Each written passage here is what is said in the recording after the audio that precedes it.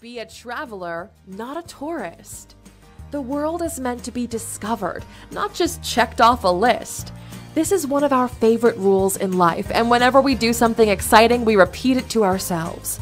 There is a dramatic difference between being a traveler and being a tourist. Tourism is a product that's being sold to you where you are not in control of the experience, so you're not in control of your life. Travel is when you venture out into the unknown and take the world in in its raw format. Do not mistake this for just going to different places because it's deeper than that.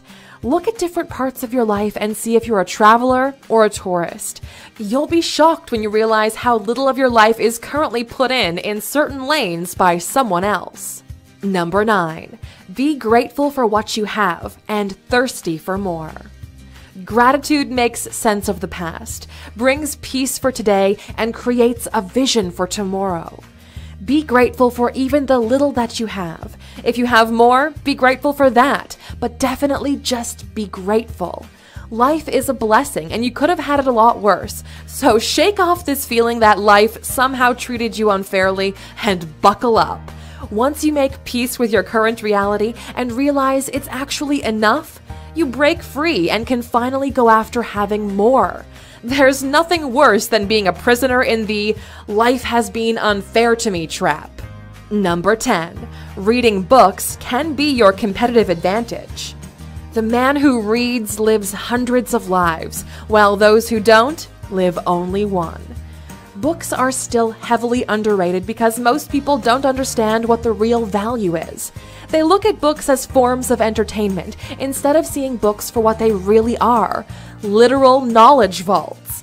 Someone's life experiences, mistakes, failures, successes. Everything someone learned in 50 or 60 years can be downloaded into your brain in a couple of days. How amazing is that? It's time you start reading self help books. Books are not about entertainment, they provide you with access to some of the greatest minds that ever lived. Remember what we said at number seven? A single idea can make you rich? And books are filled with them. A single book can change your life forever.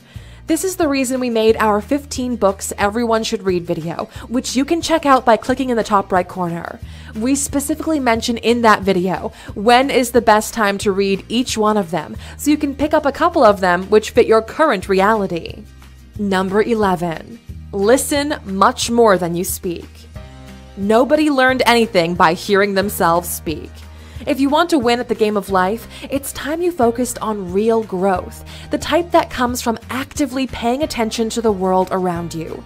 It's time you became a sponge of knowledge and quality information. There isn't one person around you which you cannot learn something from, and the brain has its weird problem where it doesn't allow information to go in as you're talking. So just shut up and pay attention.